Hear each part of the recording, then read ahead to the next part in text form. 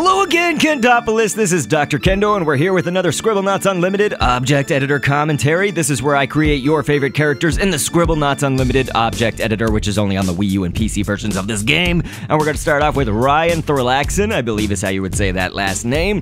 One of the Fifth Cell developers, of course, in Scribblenauts Unlimited. If you're playing in Scribblenauts Unmasked, a lot of those Fifth Cell members do look pretty different, actually. And so in that case, you would just want to go with anything from the DC villain libraries, any of that hero or villain libraries, I should say, or any character that you know that kind of has this open jacket look. Now, uh, we're going to be creating Rick and Morty today, and so we're starting off with Rick, basically, is who we're creating. So anybody that you can imagine, you know, I encourage you guys to create these uh, characters by customizing them to however you would do it, you know. So just use my series kind of as an example of stamps you can use, design features that you can do, you know, like using Manta Ray right now, these fin pieces to be the uh, extra flaps on his lab coat right there. And so we've got a minus sign coming up next, and the minus sign we're going to use a few times actually, but right now we're using it for the pant legs. Normally, Rick and Morty, you know, they're designed, uh, especially Rick is very kind of tall and lanky, you know, they've got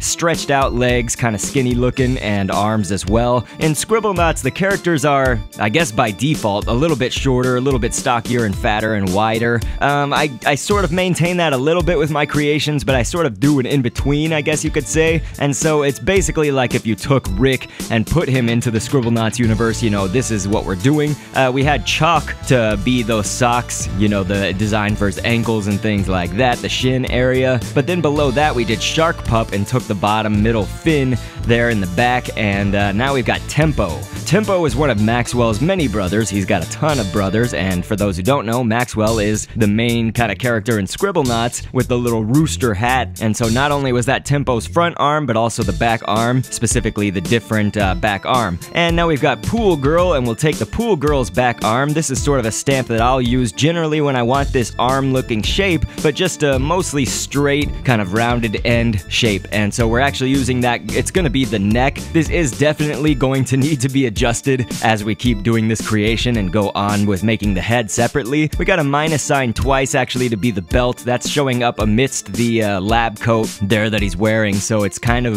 we shrunk it down pretty dang small right there. And so we've got cuttlefish and you can take one of those arm antenna pieces of the cuttlefish, make it as small as you can, paint it all the way black and it looks like his shirt being tucked in where his belt is right there. And I'm gonna show you guys caffeine right now before we go into the properties editor, you know, for scripting and things like that. The caffeine is just to show you, hey, that makes like a kind of beer bottle looking uh, image, I guess, show up, that stamp. That's what we're gonna use as kind of his projectile and a few things for Rick here, so just thought you guys should see that. Let's go ahead and talk about Rick and Morty, though. This is the properties editor where you can edit health and things, and this is where I talk about background information and fun facts about the characters that we create. So for anybody that somehow doesn't know, Rick and Morty is an American animated sitcom on Adult Swim. The series follows the misadventures of mad scientist Rick and his easily influenced grandson Morty, who split their time between domestic family life and interdimensional adventures. As we're creating Rick here right now, we'll just quickly say a little bit about him. He's extremely cynical and pessimistic, and I'll add hilarious in there myself, but he's basically tall and lanky and is often burping or stammering mid-sentence, which is typically from him being drunk. As a scientist, he's genius, creating some of the most wild things you could imagine, and aside from the rapid cynicism, he also has quite a heavy criminal record. It would literally take too long to read all of it here probably, so we'll just end off by switching gears and note that his relationship with Morty might be exploitative and demanding of him, but it does seem that he genuinely cares about Morty, even if he usually hesitates to show any love or appreciation. It's there. And so we are creating the head and the body separately, as I mentioned before. We're going to start off with the head as the source object and use amber as kind of the main shape. A troglodyte right now we're using kind of mainly for the hair, so you can put it behind that amber, you know, just layer it behind. And uh, of course paint that hair kind of this grayish blue. We made it like a light blue, I guess, for this purpose. Circle is going to be for the eyes, so that's twice, of course. An octopus, we can take this tentacle piece that's bended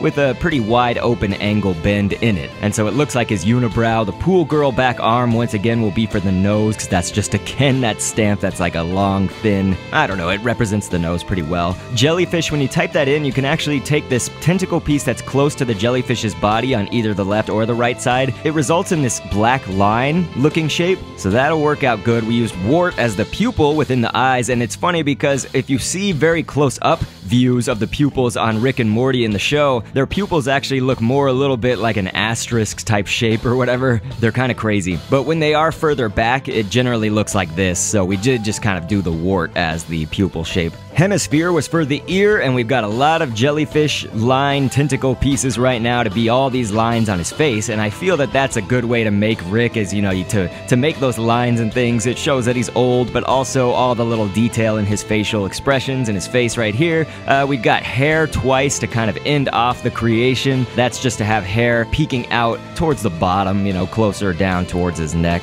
and uh, so that's looking good. Whenever you create a head and a body separately in this game, you do want to make sure that on the head object here in the properties editor, you go down to the equipment tab and it says can be worn on the face like glasses. If you see that third circle on the bottom half of the screen, you know, there's those four circles. You want to fill in that third one. It says can be worn on the face like glasses and that'll work to mostly put the head where you want it. Now look at what happens. I'm actually going to get the head and the body. If you wouldn't knock it away, this is a level with anti-gravity right now. So Rick is all flying around. I did not intend for him to hit the head, but obviously you see now that they are connected. Once I gave the head to the body object, you can can see that it does not look exactly right. Now it did at least put the head up where the head is supposed to go, it's just now we need to position it exactly where it should be. So with that, go ahead and edit the body object and press this button right here. It basically turns on the green grids. It's got Maxwell's head and a banana and a wheel and a dotted line all around that. It turns on all of those green grids. You can see that there's an empty green grid where the head is supposed to be. So you can actually click on that or tap on that if you're on the Wii U, and that'll let you move it around with those arrows and things. And so you can actually move the head up, down, left, right, wherever you feel it needs to go. Our head actually was a lot bigger than the body as well, so one thing we did was increase the size of his torso, or his body, I guess I should say in general, the whole thing, and we moved the head a little bit higher and forward, which would mean to the right. So that's kind of the adjustments that we did. Again, it'll differ based on your creation and what uh, properties you've given it and how you've created it, all of that stuff. But anyway, we're gonna start off with Aaron Large as the source object coming up now. We got Mox after we removed the arms and the legs and the head of Aaron Large. Mox is one of Maxwell's many brothers as well, has a twin named Mix. We took the arms of Mix or Mox, you can use either one of course. And so that's gonna be for the sleeves and the arms right here for Morty, because that's who we're gonna create now. You can't have Rick without his Morty, huh? And so we've got minus sign coming up next. The minus sign, once again, will have the same kind of purpose as before, as uh, we're gonna use it for the legs. Now again, it's like one of those things I, I mentioned last time when we were creating the legs, is normally they would look like the legs and the arms would be a lot longer and taller and all of that. And Scribblenauts Unlimited, the world is a little bit different, so you've got to kind of adjust to the environment, I guess, of Scribblenauts Unlimited. You could kind of make a creation if you wanted to that had different pieces to the arms and legs, you know, more pieces, but that would ruin if you were going by my design. You wouldn't have enough stamp space, basically, if you're going by these designs specifically. I encourage you, of course, to create your own way and not knock anybody who creates their own way. And so the same thing with the chalk and the shark pup to be the the socks, and uh, the, the shoes right there. But we are going to be creating Morty as a single object. The reason for creating a head and a body separately is typically because you want to conserve stamp space or get the most out of the stamp space that you can. And so that's why we did Rick differently. Uh, Rick, I couldn't basically include the head on with our body object the way that we designed it. We would have easily run out of stamp space, and we did on both of them. But here with Morty, we can actually include all of the stamps that we need and still create him accurately. So a circle was the head, fingernail for the nose, octopus tentacle piece right now. It has a slight bend in it. That's for his mouth. And uh, so with that whole, what I was just talking about, um, wait, we got a snowball as the hair. I don't want to forget about that. Scribble Scribblenauts Unlimited, though, it does have a limited amount of stamp space. I know it's it's called unlimited, but it's limited. Um, so basically, a stamp is anything like this hemisphere that we're typing in to get the ear for Morty or the snowball hair. Any of those little pieces that we put on to create our object overall, those are all, each one of those is a stamp, and you do have a limit to how many you can put down. So that's the only reason, you know, hey, we created the head and the body separately for Rick. And uh, Pimple is going to be for each of the teeth of Morty right here. We've got his eyes to be circled just like Rick before. And uh, we'll paint those circles, of course, all the way white right here. And it's okay to make them kind of going a little bit off the face. If you actually see how Rick and Morty are drawn in the cartoon, their eyes do kind of go a little bit off of the face, more specifically that eye to our right side. So if it looks like it's kind of breaching the edge edges of that circle, that's the reason. Jellyfish tentacle pieces, those line shapes are for the eyebrows, and that'll do it with the warts as the pupils. Let's go ahead and read about Morty since we're here. Of course, Morty is short for Mortimer, and he's the grandson of Rick, who we mentioned before. He's a young and generally good-natured teenager who can be somewhat easily manipulated, I would say. There are just so many facial expressions that we could have done for these characters, as is often the case in this game since Scribblenauts basically requires a static face. I decided to make Morty here with a face like, uh, it's kind of like uh, blind, dumbfounded interest and good-hearted attitude, while Rick, of course, we can see was created earlier with more of a meh